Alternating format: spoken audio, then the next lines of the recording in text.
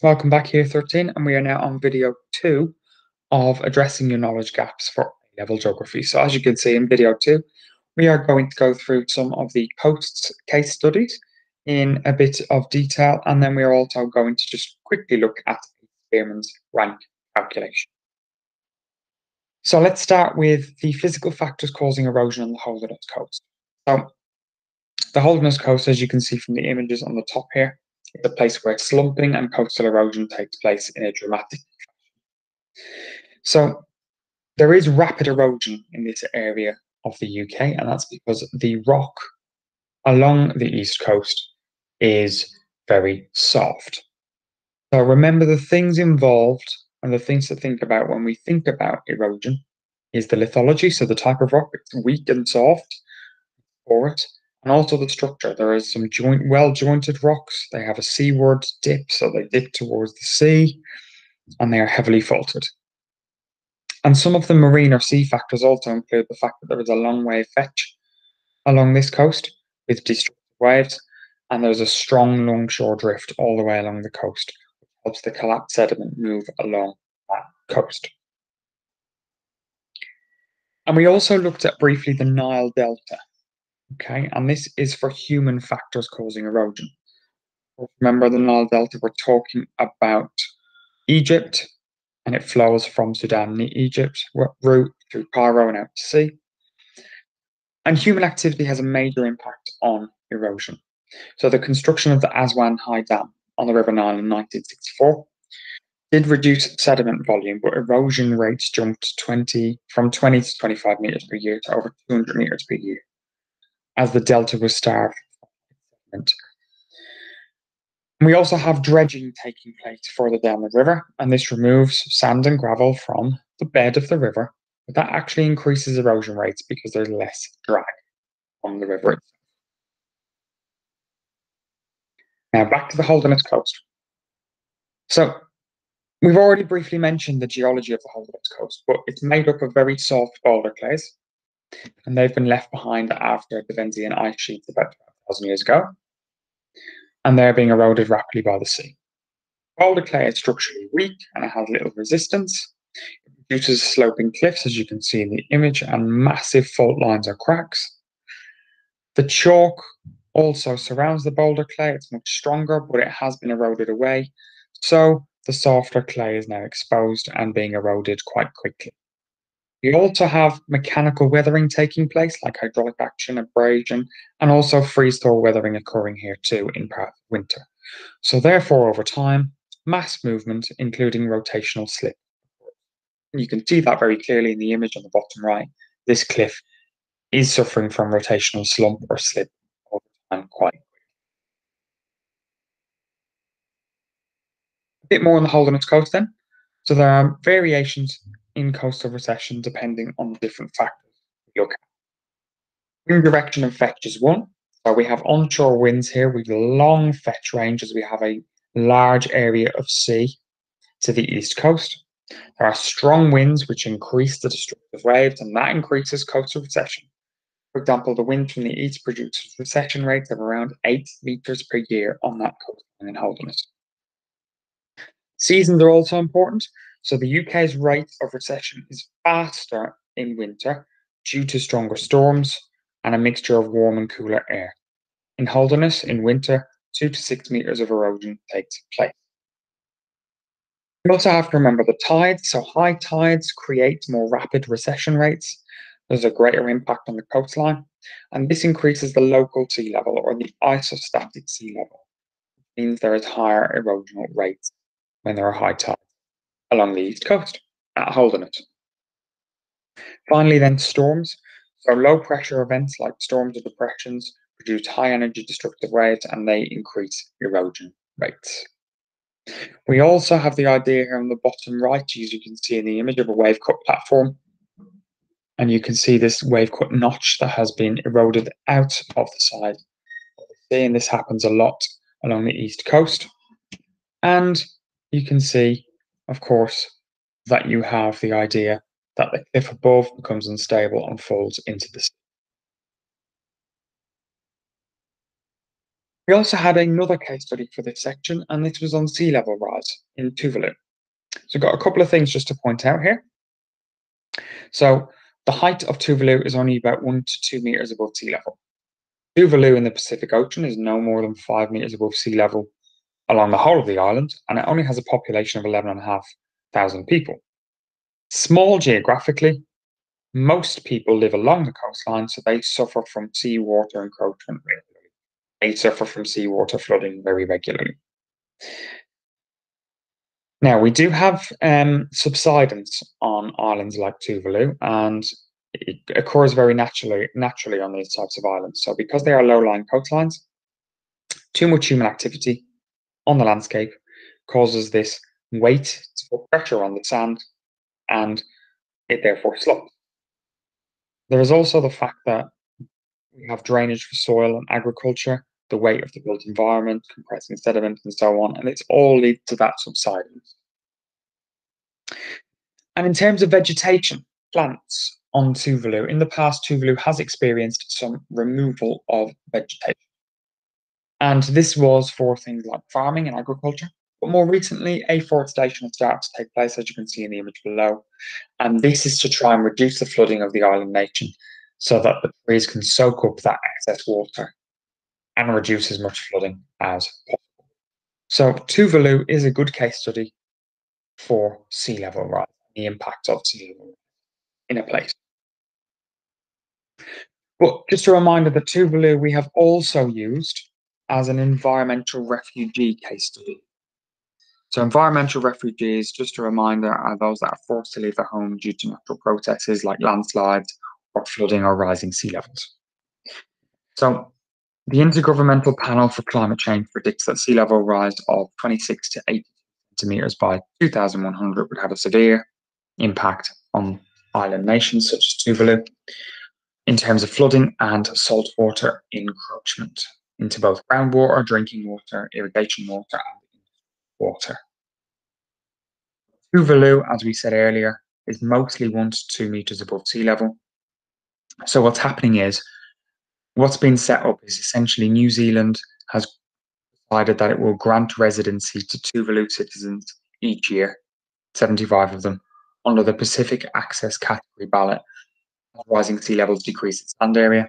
And in 2014, New Zealand courts granted one family, particularly permanent residents, on the basis of climate change refugees. There is this idea of climate change refugees coming into force. Obviously, by 2100, it will be a much bigger issue where more and more of the 11,500 people living in Tuvalu will have to move to nations such as Japan and New Zealand. Another bit of a case study here for you, and there's two different ones on screen coming up now, and these are the impacts of storm surges. Okay, now it's very unlikely you'll be asked this, but I want to cover it anyway. So remember, a storm surge is a temporary rise in low sea level produced when a depression, storm, or tropical cyclone. So there were two examples we looked at very briefly, and they were Bangladesh tropical cyclone Sidr in 2007 and Storm Xavier in the UK in 2013. I'm not going to read through all this, but essentially, you need to be aware of some basic impacts of these storm surges as a result of tropical storms or depressions. So in Bangladesh, we have a tropical storm, obviously, category four, six meter storm surges. Deforestation, for example, made this worse. Percent of people in Bangladesh are low lying areas, or 60% of Bangladesh is a low lying area. 15,000 were killed, 55,000 were injured, 1.6 million lost their homes. So, and the estimated total damage here was 1.7 billion US dollars. So, we can see that these tropical cyclones causing storm surges play a massive role in coastal recession and coastal problems. Storm Xavier in the UK in 2013. In this case, there were two people killed because of the 80 mile an hour plus winds and a three to six meter storm surge. 18,000 people were evacuated, 1,400 homes were flooded, and railways were cancelled and suspended, etc. So, even though the UK one there didn't have as much of an impact, obviously, because it's less low lying, less bad a storm, we still have storm surge issues even in the UK. Again, back to um, case studies a bit briefly, back to the Holderness again as a good example. These are the social and economic losses caused by coastal flooding and storm surge events. Okay? So in the UK, in Holderness Coast, a developed nation, social impacts are property prices falling, 30 villages losing their um, losing um, their status really since Roman times because of the disappearance of the coast. Lost farmland, lost homes, difficult to get insurance to cover it, and also people not being able to afford the repairs. In terms of the economic impacts of coastal flooding and storm surges in Holderness Coast, tourism numbers have dropped over 30%, outward migration from the area of young people, loss of infrastructure, um, expensive hard engineering schemes put in place to try and protect the area, like sea walls, and also existing defences like groins at Mappleton, near the Holderness area, has also been damaged. So more investment needed there as well. I'm just going to put Bangladesh on screen as well, just to give you a comparison to look at here. This is a developing nation. So the social impacts there, as you can see, are at least 10.5 million people being displaced and moved on to another area. We have other problems like drowning, landslides, diarrhea, diseases killing 100,000 people, and also large scale home loss. In terms of the economic impacts, obviously farmers suffer heavily because they mainly farm along the coast. In Bangladesh, destroyed 150 million US dollars in aid needed, 290 million US dollars of crop damage in 2004 alone, and damage to schools and hospitals as well. As you can see, there's lots of different social and economic impacts due to coastal flooding and And the final thing on the coastal case studies is this, which is the winners and losers in a conflict. As you can see here, we've got the Blackwater Estuary, which is in Essex, and we've got the Maldives. Now, the Blackwater Estuary is an example where all stakeholders agreed on the course of action. The farmland was prone to flooding. Over 30 years, it had become unsustainable. So the radical plan was the Essex Wildlife Trust purchased one of the farms, which was a threatened area, and also a 4,000 acre, or sorry, 4,000 hectare managed realignment scheme was implemented. The benefits of that were that the farm owner received the market price for the farm. There was a high hold the line cost, and they were avoided. The water quality improved. There was new paths and walkways for leisure and tourism. Everyone was a winner in this case. In terms of the Maldives, there was rapid unplanned coastal development, urbanization and development of tourist resorts in the Maldives. The main losers here are the poorest people, obviously the farmers and the residents of the area they can't claim compensation because they have no formal land title. Coastlines are becoming more vulnerable because of sea level rise, particularly in places like the Maldives. And individual property owners, property owners have had to take out um, responsibility for their own properties due to the absence of proper planning for the area. So they are examples of winners and losers in conflict because of sea rises and coastal recession or erosion, both in Essex and the Maldives. Okay, so something very different now. Spearman's rank calculation. A number of you are still not confident with using Spearman's rank. Now remember, when you are giving it in an exam, most of it is completed for you. Okay, so this is not, obviously I'm going to do the whole one from scratch. In an exam, most of it is completed for you. You are always given the formula and all you've got to do is punch in some numbers into the formula, know how to use your calculator, be able to show how you worked it out. So a couple of things to remember. When you do get your final score, the closer your calculation to plus one, the stronger the positive relationship between the two sets of data. The closer the number you finally get to minus one, stronger the negative relationship between the two. In this case, we are looking at districts of Manchester, their average house price, versus antisocial behavior incidents. Now remember, we rank lowest to highest. So the lowest value is 1, the highest value is 10. Then we work out the difference between the two ranks. And then we square the total. I'm going to rank it now and show you what it should look like. As you can see, number one here for rank one is Manchester East because it's 80,000 average house price. That, of course, is the lowest on the list. Okay. Number 10 then is Didsbury, 294,000 because that's the highest on the list.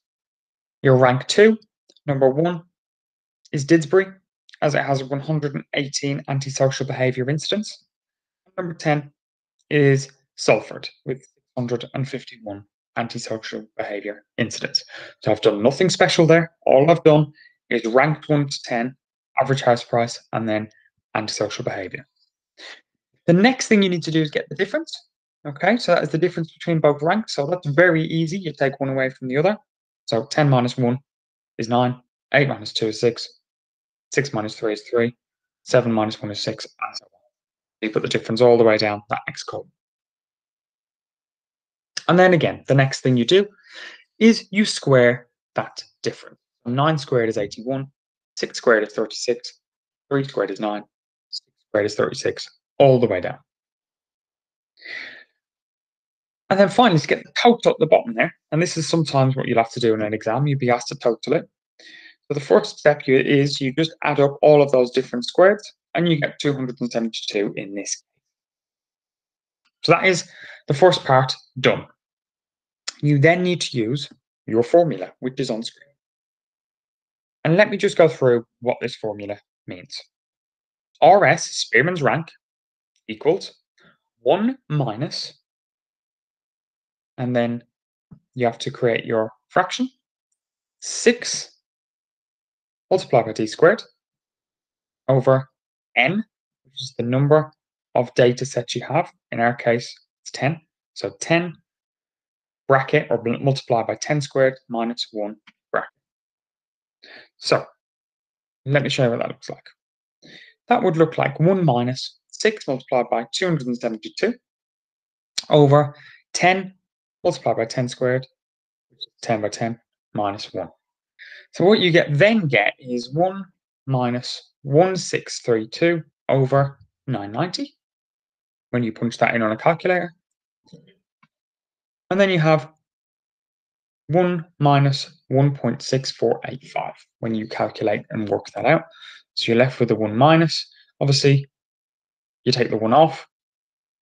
Minus 0 0.645 in this case. Now, let's go back to our rule. The closer to minus 1, the more negative the relationship. The closer to plus 1, the more positive the relationship. Okay. So we have a minus 0.6485, and that means there is definitely a negative correlation. Okay. And that negative correlation basically says that the higher the house price, the less antisocial behavior there is. And actually, we can look back at the data.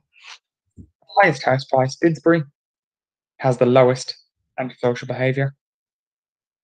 If we take the lowest house price, Manchester East, of 80,000, doesn't have the highest antisocial behaviour, but it has a high antisocial behaviour. Okay? So we can actually check as well that that kind of makes sense. So that is how you calculate a Spearman's that is it for this video. So that is addressing the knowledge, knowledge gaps video two. Please go over to video three where you can see on in green there at the bottom of screen what we will cover in that